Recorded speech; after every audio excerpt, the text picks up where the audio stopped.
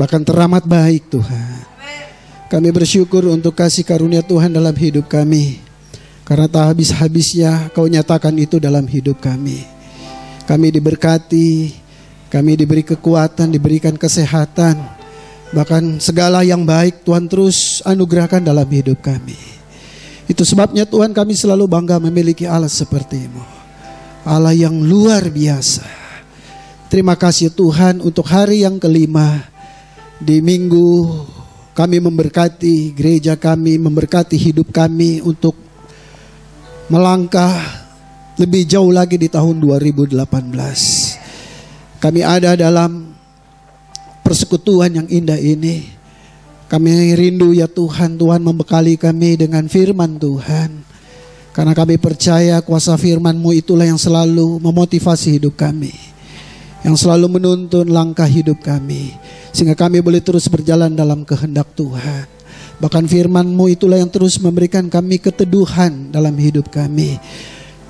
Karena begitu banyak masalah yang harus kami hadapi. Tetapi kami percaya kuasa firman itulah yang selalu memberikan kami kelegaan, kepuasan ya Tuhan.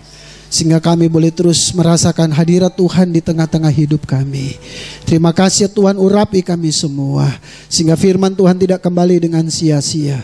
Tetapi mengerjakan kehendak Tuhan dalam hidup kami. Di dalam nama Tuhan Yesus kami siap mendengarkan firman Tuhan. Haleluya. Mari kita semua sama-sama katakan. Amin. Puji Tuhan. Haleluya. Silakan duduk. Puji Tuhan. Oh pendek ini ya kabelnya. Haleluya. Shalom. Puji Tuhan. Kita sudah ada di hari kelima. Kita menjalani puasa kita. Dan kalau saya lihat wajah-wajahnya, waduh, wajah-wajah yang nggak bolong ya. Puasanya tetap terus berjalan, amin. Memang kalau awal-awal agak gemeteran gitu kan. Dari jam 10 malam sampai jam 6 sore, waduh gemeteran. Kalau ngomong gemeteran saya ingat cerita teman saya tuh. Ada si ada seorang cewek diajak baru jadian sama cowoknya kan. Jalan lah namanya si Ungke nih. Jalan waduh dari pagi ke Ancol jalan pas udah mulai sore ceweknya bilang, "Aduh Ungke, kok saya gemeteran ya?" katanya gitu. Wah, Memang begitu. Kalau cinta pertama selalu gemeteran. Dulu saya juga begitu. Ini gemetarannya bukan cinta puasa kamu kok jalan makan kamu nggak ajak makan kayak apa kayak wah si Uke memang pelit nih, ya kan? Jadi sepanjang hari dari pagi sampai malam nggak diajak makan ya gemeteran lah, ya kan? Jadi jadi gemeteran bukan karena cinta, karena nggak makan. Ya emang kalau awal-awal puasa tuh aduh gemeteran, tapi kalau hari, hari kelima gini udah sudah terbiasa ya, sudah agak santai. Pak Gembala bilang makan terakhir jam 10. Kalau saya makan terakhir buka puasa jam 6, itulah makan terakhir. Ketemu jam 6 lagi jadi 12 jam. Wah, dan puji Tuhan memang tunggu pas nyampe di sini pas jam 6. Puji Tuhan. Haleluya. Nah, Bapak Ibu saya kasih dalam Tuhan. Hari ini saya mau bicara tentang suatu hal yang penting dalam kehidupan kita. Sebelum kita lebih jauh lagi melangkah dalam kehidupan sepanjang tahun 2018 ini yaitu damai sejahtera. Amin. Damai sejahtera. Aduh saya pengen suka ke depan cuma kabelnya pendek. Ya, karena menjadi orang baik itu kan susah. Menjadi orang Kristen yang benar-benar taat, benar-benar setia sama Tuhan susah. Ya kan? Susahnya karena pasti ada ujiannya. Betul? Susahnya karena ada tantangannya. Kalau nggak ada ujian tantangan ya gampang. Ibaratnya kalau sekolah nggak ada ujiannya naik kelas terus ya puji Tuhan enak banget. Ya kan? Yang bikin susah itu ketika ada ujian tantangan. Dan saya yakin percaya seminggu ini lima hari kita puasa juga pasti ada ujiannya, iya kan? Iya sampai yang ya batal deh gua puasa. Ya kan? Ada ujian, tantangan yang membuat kita kehilangan damai sejahtera. Dan setan pakai itu. Setan ingin merusak kebahagiaan kita, ingin merusak kedamaian kita dengan apa? Menghilangkan damai sejahtera dalam kehidupan kita. Ini orangnya nyebelin, ini orang bikin sakit hati. Ini orang terlalu mengecewakan, kayaknya udah berkali-kali ya kan. Padahal orang Kristen biasanya pengampunan cukup cuma sampai dua, biasanya. Meskipun firman Tuhan ajarkan harusnya 70 kali 7 kali 7 kali. Biasanya cuma dua kali, awas sampai ketiga kali. Tangan gua melayang di muka lu. Udah. Orang Kristen biasanya cuma batas dua kali, kenapa ya? Gak tahu. Nah saudara kalau kita kehilangan damai sejahtera biasanya apa? Stres, emosi, temperamen, marah, ya kan? Itu sebabnya kenapa ada pertikaian. Kenapa ada perceraian. Kenapa anak-anak berontak. Ya. Kenapa ada sesuatu yang membuat orang kecewa karena apa? Nggak ada damai sejahtera. Istilah orang sekarang kehilangan damai sejahtera. Iya kan? Hilang. Emang naruhnya di mana Pak? Siapa yang ngambil sampai hilang? Kehilangan damai sejahtera. Nah kalau udah kehilangan damai sejahtera, kadang-kadang mengganggu rumah tangga juga. Iya kan? Tadinya suami nggak emosi jadi emosi juga nih gara-gara istri kehilangan damai sejahtera. Anak-anak juga jadi kehilangan damai sejahtera. Bahkan banyak juga kalau kehilangan damai sejahtera sampai kita apa hubungan kita dengan Tuhan aja terganggu. Banyak orang yang merasa kehilangan damai sejahtera nggak ke gereja. Ah percuma gue ke gereja. Berdoa juga gue udah nggak fokus. Iya banyak orang bilang begitu. Justru kita ke gereja kita memperoleh damai sejahtera. Orang terbalik. Kalau hilang damai sejahtera nggak mau ke gereja. ke karaoke, inul kafe lah. Jadi cari kedamaian di di dunia ini. Sementara itu, paling dua jam tiga jam pulang pusing lagi ya duit gua habis banyak tadi. Iya kan? Traktir ini, traktir itu. Cuma gara-gara kehilangan damai sejahtera.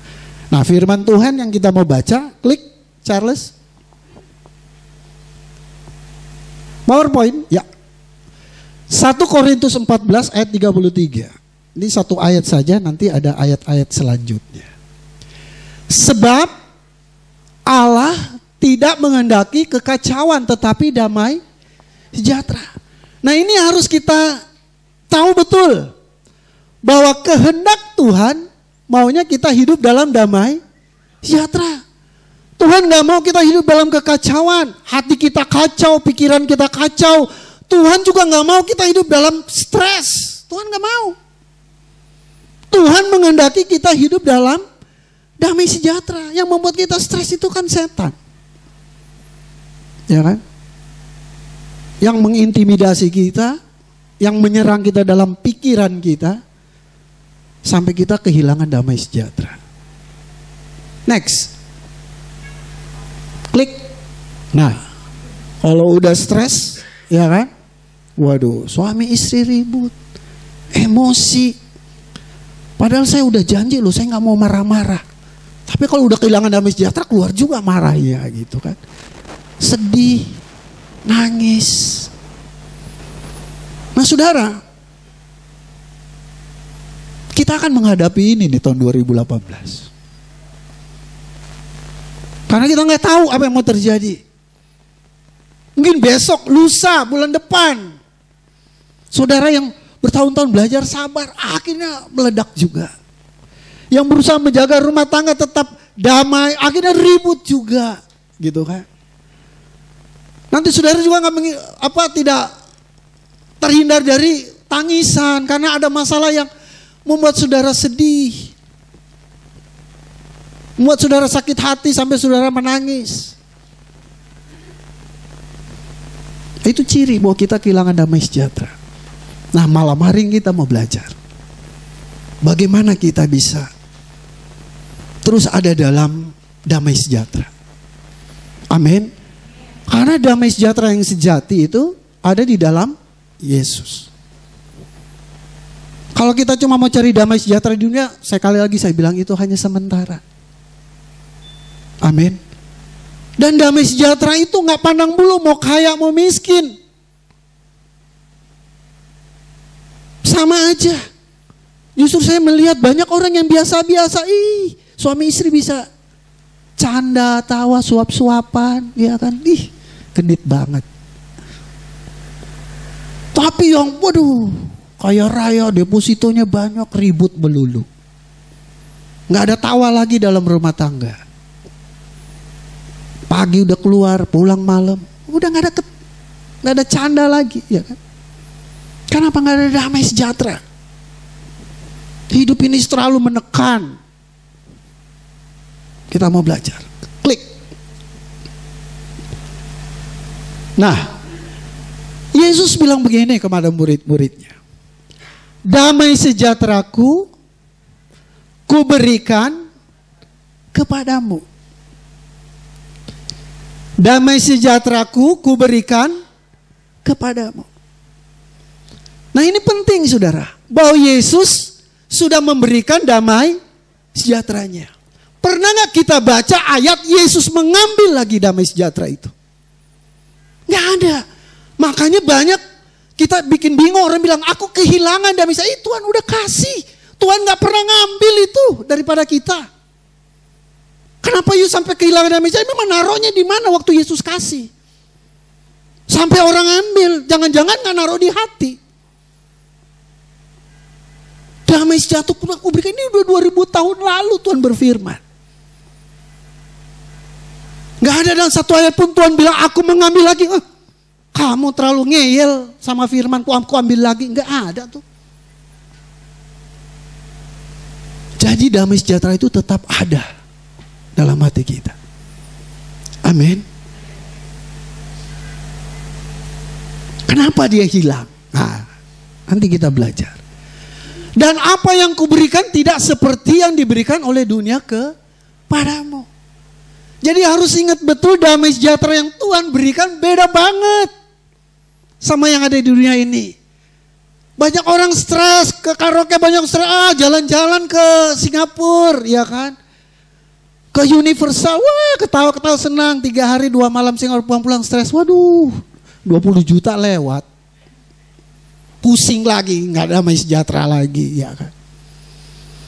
Beda. Kita nggak bisa menemukan damai sejahtera sejati di dunia ini, saudara.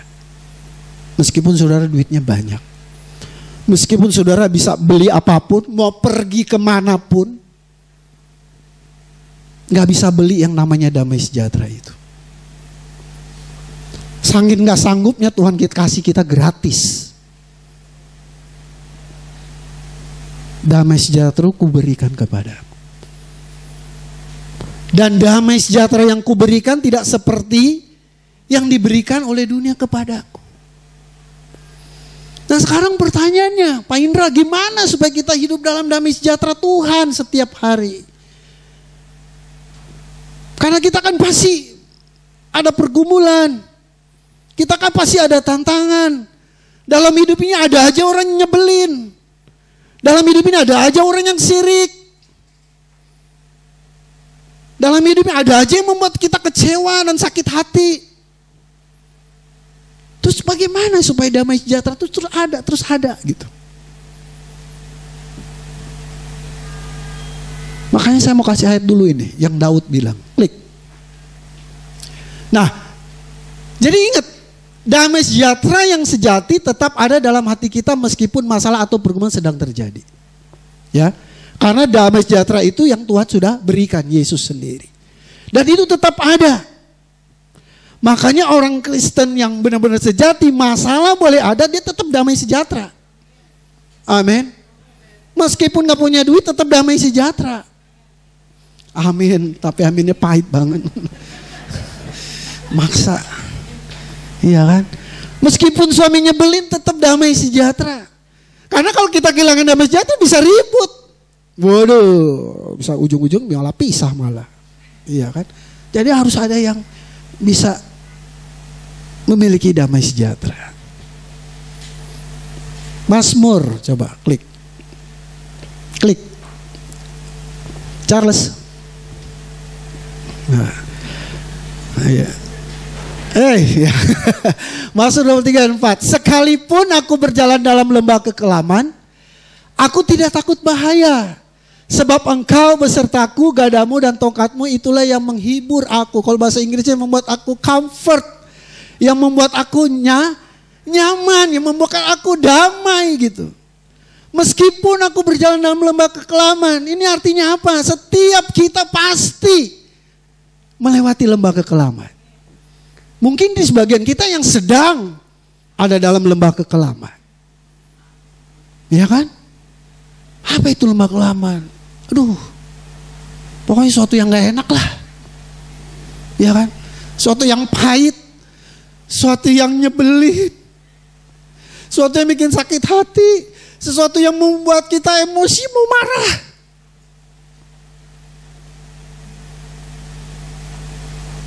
Suatu yang pahit. Iya kan? Tetapi Daud bilang apa? Gadamu dan tongkatmu itulah yang menghibur aku. Wah, saya itu paling kagum kalau tokoh Alkitab tuh Daud. Kalau Tuhan Yesus sudahlah dia udah Tuhan Allah sendiri ya. Gak usah dibanding, gak bisa dibandingin dia. Karena dia sudah Tuhan yang paling perfect, yang sempurna. Tapi Daud kan manusia biasa.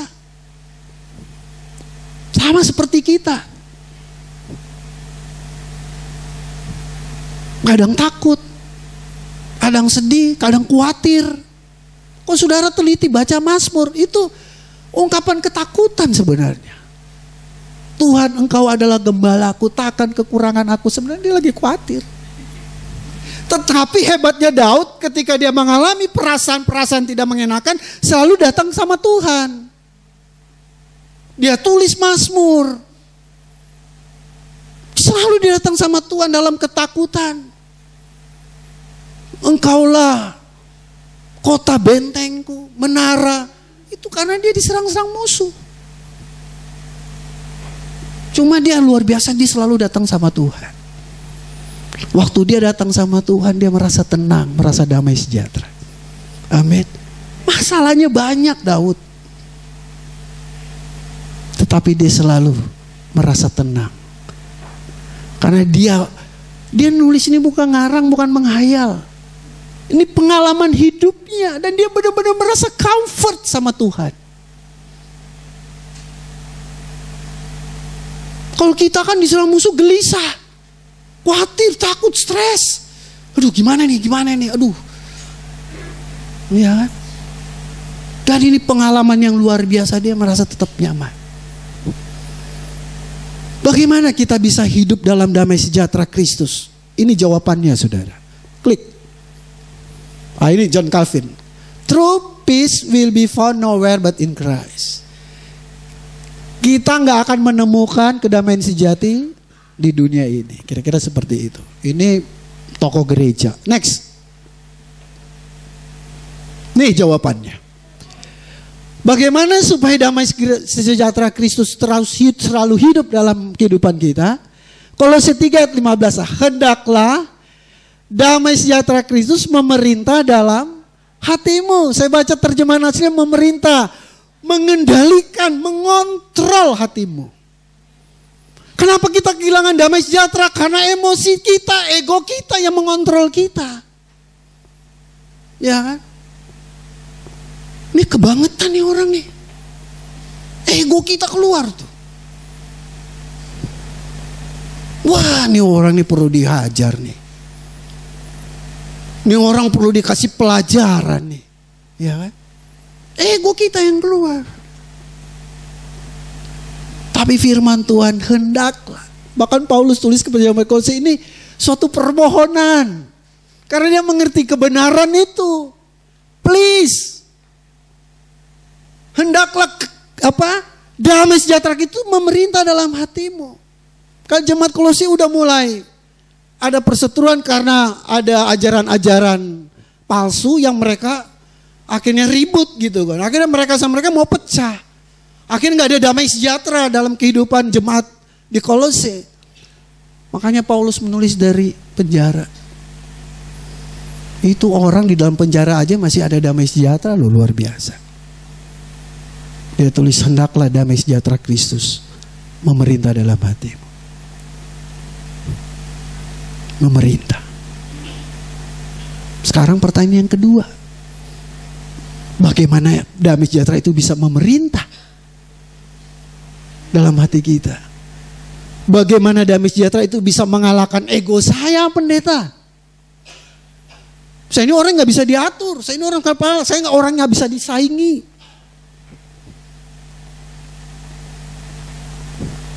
Bagaimana damai sejahtera itu bisa memerintah dalam hatiku? Jawaban yang pertama, kita ke Mazmur lagi. Waduh, saya senang banget sama Daud nih. Klik. Daud bilang begini, Aku senantiasa memandang kepada Tuhan. Karena ia berdiri di sebelah kananku, aku tidak goyah. Sebab itu hatiku bersuka cita dan jiwaku bersorak-sorak, bahkan tubuhku akan diam dengan tenteram, dengan nyaman. Aku senantiasa memandang kepada Tuhan. Sekali lagi saya bilang, Daud juga ini banyak pergumulannya. Cuma dia katakan, aku apa senantiasa. Apa artinya senantiasa, saudara? Selalu. Amin. Aku senantiasa memandang kepada Tuhan. Kenapa dia katakan itu? Karena Daud mengerti firman Tuhan yang berkata bahwa Tuhan menghadapkan wajahnya kepadamu dan memberikan engkau damai sejahtera. Amin. Ini yang Tuhan firmankan. Tuhan bilang sama Musa. Katakan kepada Harun dan anak-anaknya jika Tuhan memberkati mereka katakan demikian. Tuhan memberkati engkau dan melindungi engkau. Tuhan menyinari engkau dengan wajahnya dan memberikan engkau kasih karunia. Dan Tuhanlah yang menghadapkan wajahnya kepadamu dan memberikan engkau damai sejahtera.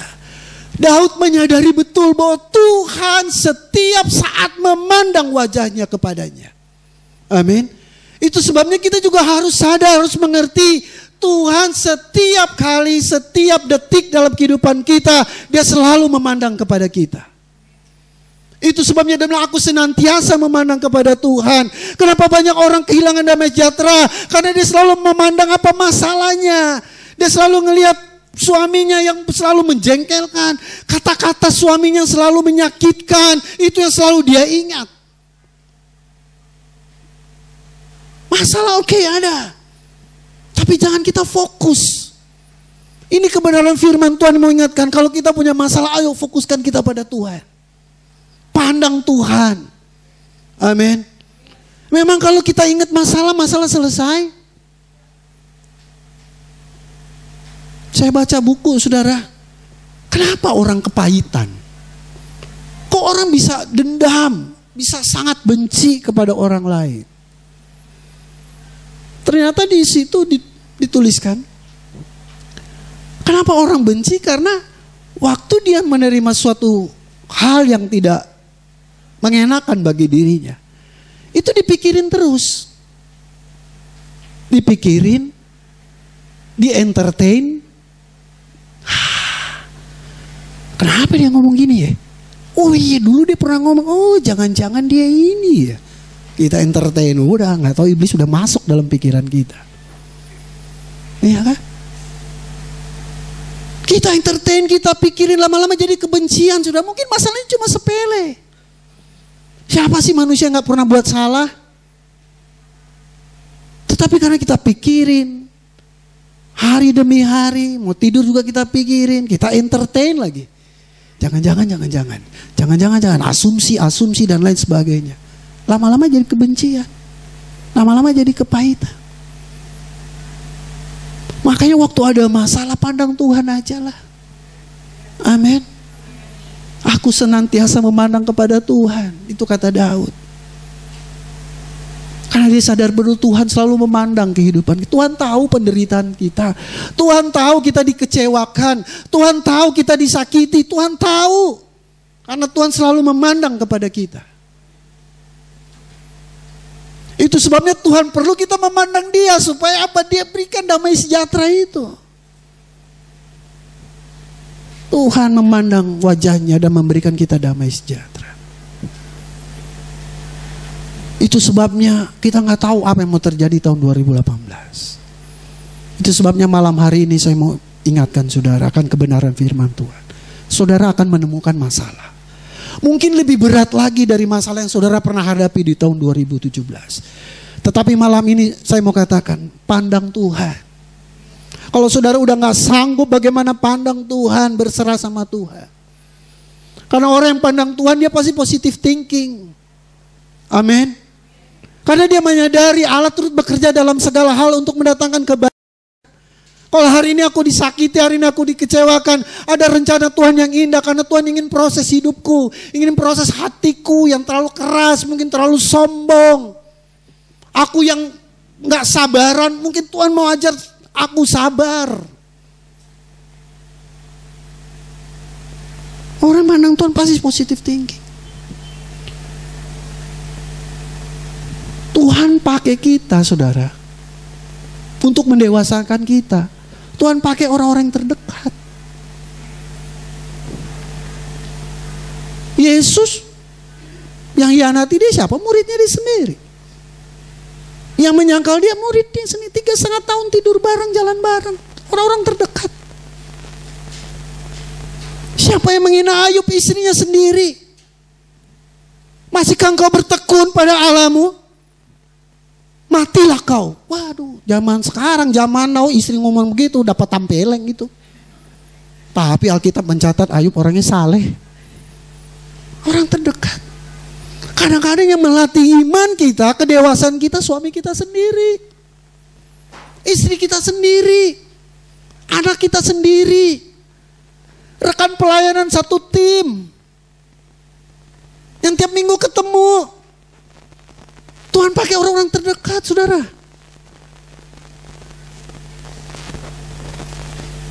Supaya mendewasakan kita. Makanya saya bilang kalau kita pandang Tuhan, kita selalu positif thinking. Saya jadi gembala, udah berapa kali saya difitnah, terang-terangan saudara. Sakit-sakit, tapi saya bilang, eh, saya nggak mau kehilangan namanya sejahtera. Cuma persoalan difitnah. Saya juga nggak akan mati karena difitnah. Meskipun dunia bilang fitnah lebih kejam dari pembunuhan. Oh, saya mah lebih suka dibunuh daripada di eh lebih suka difitnah daripada dibunuh. Iya kan? Orang kan terbalik. Apa-apa fitnah. Oh dulu memang gak kuat saudara. Lama-lama ah belajar. Ah iya ngapain ya? Ah ini iblis ingin merebut damai sejahtera aku. Pokoknya kalau udah begitu saya berdoa ya Tuhan. Biar damai sejahteramu terus terpelihara dalam hatiku. Saya pandang Tuhan aja. Amin. Oleh orang kecewa kita, saudara. Uh, teman deket hianati kita. Dulu bisnisnya kita bantuin, malah dia yang jorokin kita. Dekat. Tuhan kari orang-orang dekat untuk proses kita. Ya kan? Jadi yang pertama bagaimana damai sejahtera itu terus ada dalam hati kita, pandang Tuhan. Stop untuk fokus sama masalah. Untuk terpuruk sama masalah Tuhan, pandang Tuhan aja. Dan kita akan lihat tangan Tuhan turun dan kita wah Tuhan jadikan kita lebih dari orang pemenang. Amin. Amin. Beri tepuk tangan. Iya. Kenapa kita nggak lihat mujizat? Kenapa kita nggak ngeliat pertolongan Tuhan? Karena sering kali kita apa? Tidak memberikan kesempatan pertama buat Tuhan. Saya pernah khotbahkan kok di sini. Anak sakit, stres, hilang damai sejahtera. Langsung, waduh, cari dokter, cari ini, cari orang pinter. Kita nggak dapat bunyi kenapa? Tuhan pas sudah mentok baru cari Tuhan. Waktu anak sakit, waktu bisnis mulai turun, pekerjaan mulai, waduh ini di kantor kayak mau ada PHK. Datang sama Tuhan dulu. Beri Tuhan kesempatan pertama. Karena dia Tuhan kita, dia Allah kita. Yang sanggup melakukan segala perkara. Amin. Betul ke dokter perlu hikmat. Tapi datang pada Tuhan dulu Pak, Bu. Kalau kita beriman, ah, pernah jemaat saya kasih kesaksian. Waduh, anak cowok satu-satunya kan. Pusing dia sakit. Sakit apa waktu itu? Buang-buang air udah lemes. Wah ini kayaknya stres. Wah sebelum mau ke dokter dia berdoa dulu. Eh sampai perjalanan udah sembuh tuh anak. dokter bilang enggak, ada sakit apa-apa ini bu. Ya, karena kita datang dulu pada Tuhan. Amin. Aku senantiasa menghadap kepada Tuhan. Wow. Yang kedua, kita cepat aja biar nggak terlalu malam ya kan. Bagaimana supaya damai sejahtera Kristus itu memerintah dalam hati kita? Klik. Jadi yang pertama, apa pun yang terjadi dalam hidup kita tetap memandang kepada Allah. Yang kedua, klik Yesaya 30 ayat 17. Di mana ada kebenaran, di situ akan tumbuh damai sejahtera dan akibat kebenaran ialah ketenangan dan ketenteraman untuk selama-lamanya. Apa itu kebenaran? Apa itu yang nggak pernah salah? Apa itu yang tidak pernah terbantahkan, yang tak bisa dibantahkan? Apa itu kebenaran? The word of God. Kalau Tuhan berfirman, ada yang protes? Ah, salah tuh Tuhan. Kalau Tuhan sudah berfirman, itulah kebenaran. Ya. Gak ada yang paling benar di dunia ini selain daripada firman Firman Allah. Itu kebenaran. Di mana ada firman Allah di situ akan tumbuh damai sejahtera. Dan akibat kebenaran firman Allah itu ialah ketenangan dan keteraman untuk selama-lama. Siapa itu Yesus? Siapa itu Yesus? Firman yang telah menjadi manusia firman yang telah menjadi manusia Yesus. Hiduplah seperti bagaimana Yesus hidup. Kita akan mengalami damai sejahtera. Amin. Yesus firman yang hidup. Apa pengajaran Yesus yang paling dahsyat, yang paling universal semua agama menerimanya. Apa saudara? Ka? Love, kasih. Wah. Kasih itu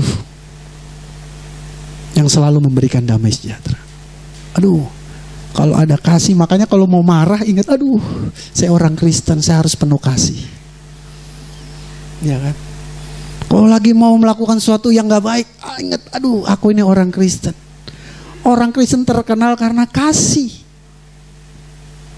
Yesus terkenal karena kasih.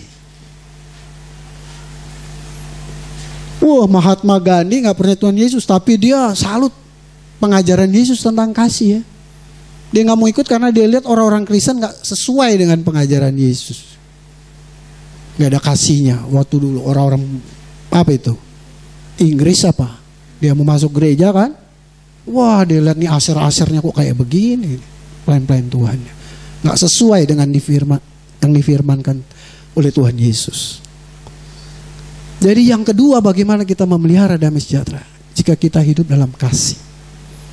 Kasih itu udah kebenaran. Kasih itu penggenapan dari hukum Taurat.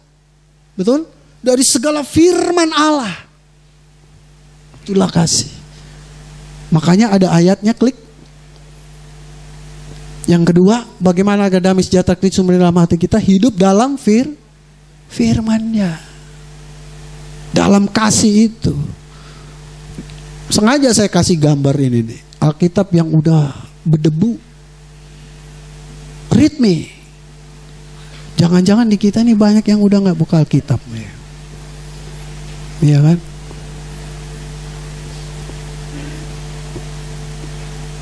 Ah firman Tuhan nanti aja seminggu sekali. Kita harus baca firman. Next. Firman itu telah menjadi manusia dan diam di antara kita.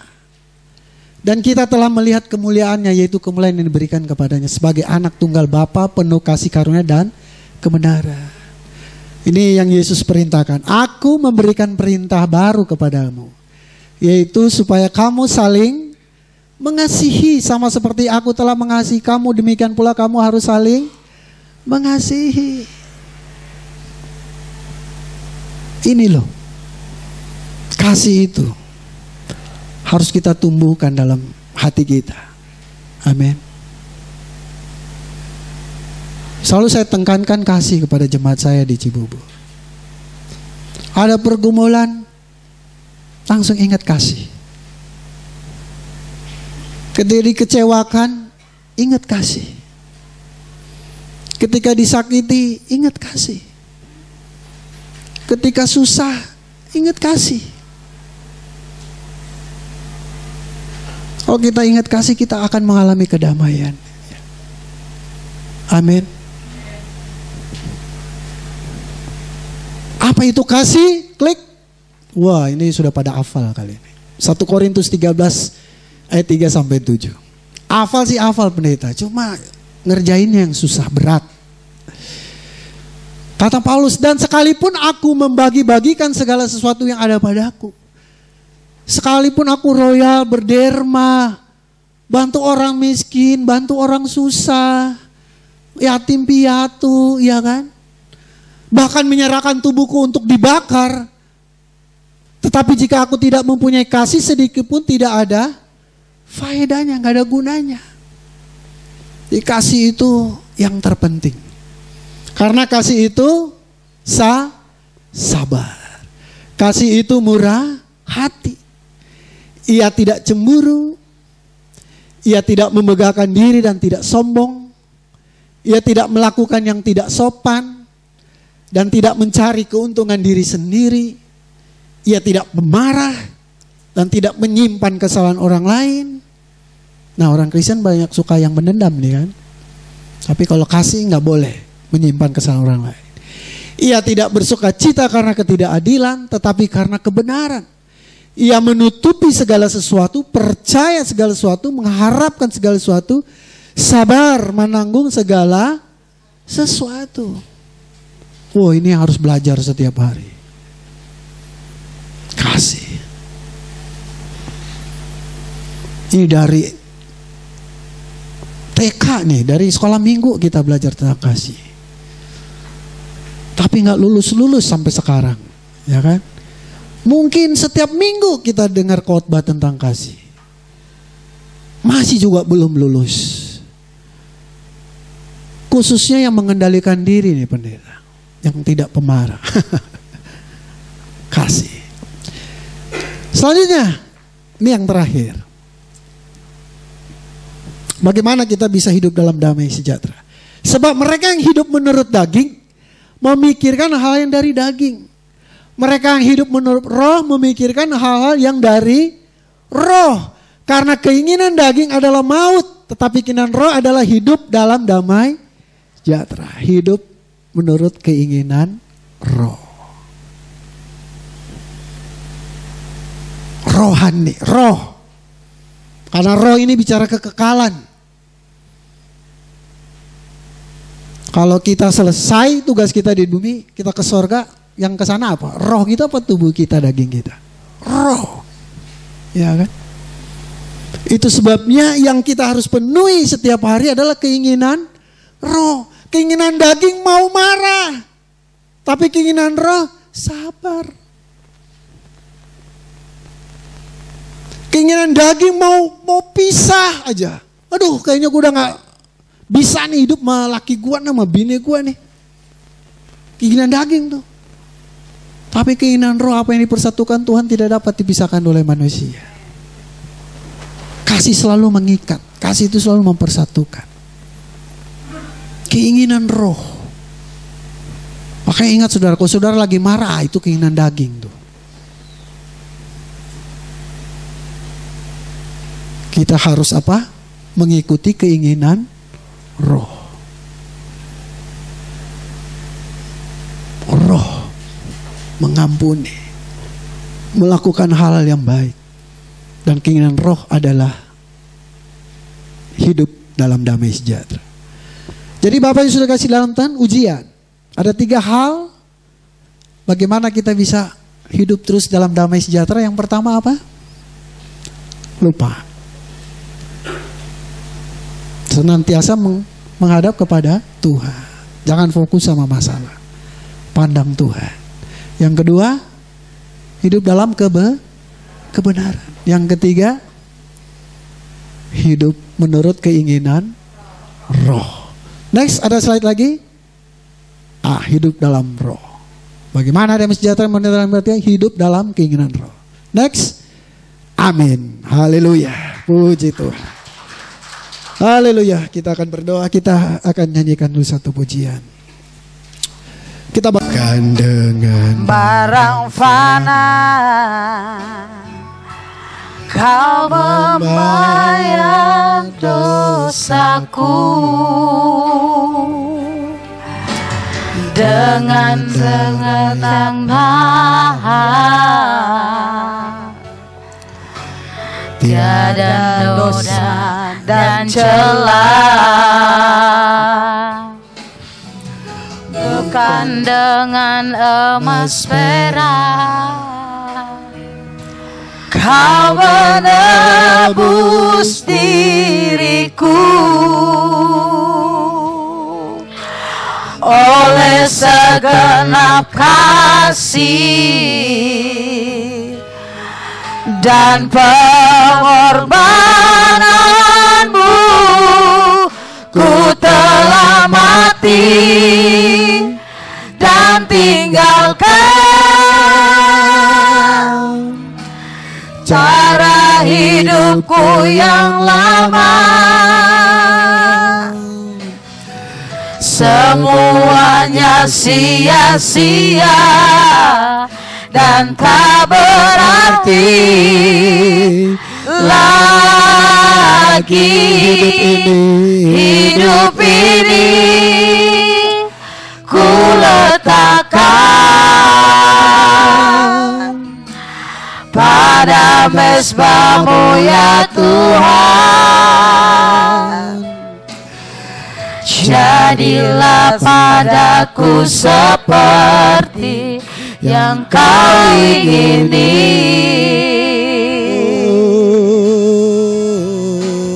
Ku telah mati dan tinggalkan cara hidupku. Cara hidupku yang lama. Semuanya sia-sia. Semuanya sia-sia dan tak berarti lagi hidup ini ku letakkan pada mesbahmu ya Tuhan. Jadilah padaku seperti yang kau ingini. Kita tundukkan kepala. Yang Tuhan mau dalam hidup kita biar setiap kita hidup dalam damai sejahtera. Tuhan tidak mau hidup kita dalam kekacauan. Hati yang kacau pikiran yang kacau. Tetapi damai sejahtera. Dan Yesus telah memberikan damai sejahteranya kepada kita. Dan damai sejahtera yang diberikan kepada kita tidak seperti yang dunia berikan kepada kita. Mungkin hari-hari ini kita kehilangan damai sejahtera. Kita sedih, kita kecewa. Kita merasa putus asa. Kita takut, kita khawatir. Tetapi firman Tuhan mengingatkan kita malam hari ini bahwa Yesus sudah memberikan damai sejahteranya dalam hidup kita. Bahkan firman Tuhan berkata biar damai sejahteranya itu memerintah dalam hidup kita. Saudara izinkan Tuhan dengan damai sejahteranya memerintah dalam hidup kita. Pandang pada Tuhan. Waktu ada masalah pandang pada Tuhan. Kalau kita masih terus memandang kesalahan orang lain, kekurangan orang lain, perbuatan orang lain kepada kita, kita akan kecewa, kita akan sakit hati, kita akan mengotori hati kita sendiri. Firman Tuhan mengajarkan kepada kita. Belajar seperti Daud, dia selantiasa menghadapkan dirinya kepada Tuhan. Ketika dia menghadapkan dirinya kepada Tuhan, ketika dia memandang kepada Tuhan, dia merasakan damai sejahtera dan sukacita. Engkau, engkau orang yang hidup, orang yang egois, orang yang mau menang sendiri, orang yang tidak mau mengikuti apa yang kehendak Tuhan dalam hidupmu. Firman Tuhan mengingatkan, ayo hidup dalam firman-Nya. Maka engkau akan mengalami damai sejahtera dalam hidupmu.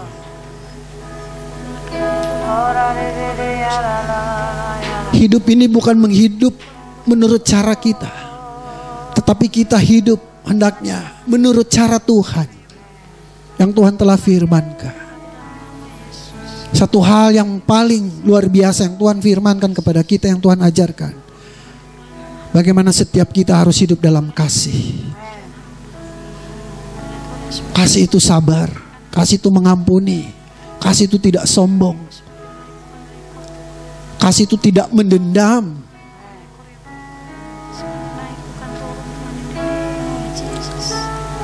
Kasih itu melakukan hal yang baik.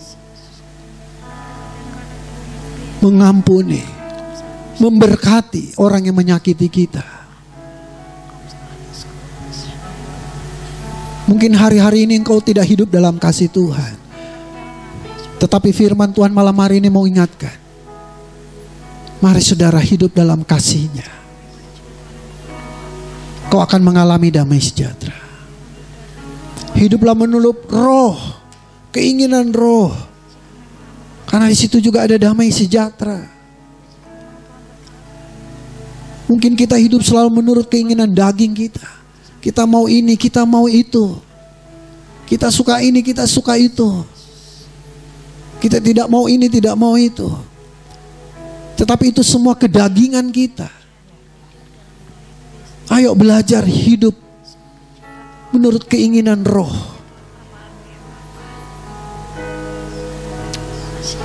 Karena kalau kita hidup menurut keinginan roh, kita akan mengalami damai sejahtera yang sejati itu. Saya beri saudara waktu satu dua menit berdoa kepada Tuhan. Mohon ampun kepada Tuhan.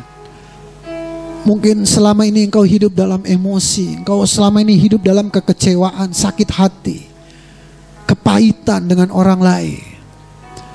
Hari ini saya beri kesempatan saudara untuk berdoa kepada Tuhan, mohon ampun. Mohon ampun kepadanya. Akui dosamu. Minta Tuhan biar damai sejahtera itu terus memerintah dalam hidupmu. Silakan saudara berdoa.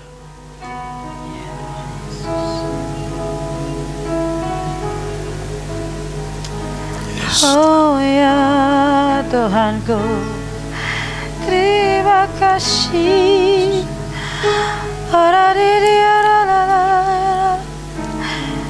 Ya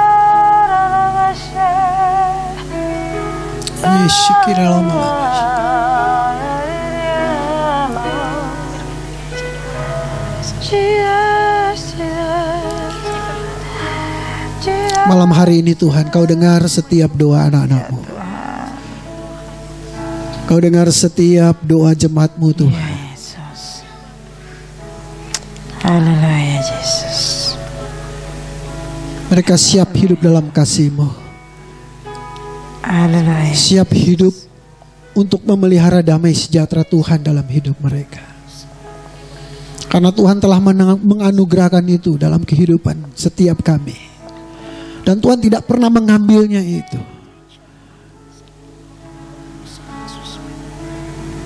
Tuhan berkati jemaatmu Tuhan. Roh Kudus urapi mereka semua satu persatu. Sehingga mereka hidup dalam damai sejahtera Tuhan kasih Tuhan yang sempurna. Kami tidak tahu apa yang akan terjadi ke depan sepanjang tahun 2018 ini. Mungkin ada pergumulan yang begitu berat. tantangan yang begitu menakutkan. Tetapi malam hari ini Tuhan telah mengajarkan kami untuk terus belajar. Mengendalikan diri kami untuk tetap hidup dalam damai sejahtera Kristus. Jamaah Tuhan, urapi setiap jemaatmu. Pakai hidup mereka ya Tuhan. Seturut kehendakmu. Amin. Sehingga mereka boleh memiliki damai sejahtera Kristus. Bahkan ke mana pun mereka Tuhan tempatkan mereka pun boleh membawa damai Kristus buat kehidupan orang lain. Dalam kehidupan rumah tangga, dalam kehidupan pekerjaan, karir, di sekolah, di kampus, di mana pun Tuhan tempatkan. Jadikan umatmu pembawa damai. Karena mereka telah memiliki damai sejahtera Kristus dalam hidup mereka. Berkati umatmu Tuhan. Dalam nama Tuhan Yesus. Dalam nama Yesus. Haleluya, haleluya. Amin. Amin. Puji Tuhan. Silakan duduk Bapak Ibu.